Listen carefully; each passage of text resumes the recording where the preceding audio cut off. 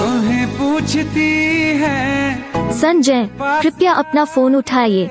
मेरी सारी राहें संजय कृपया अपना फ़ोन उठाइए। बस एक बार आ जा संजय कृपया अपना फ़ोन उठाइए।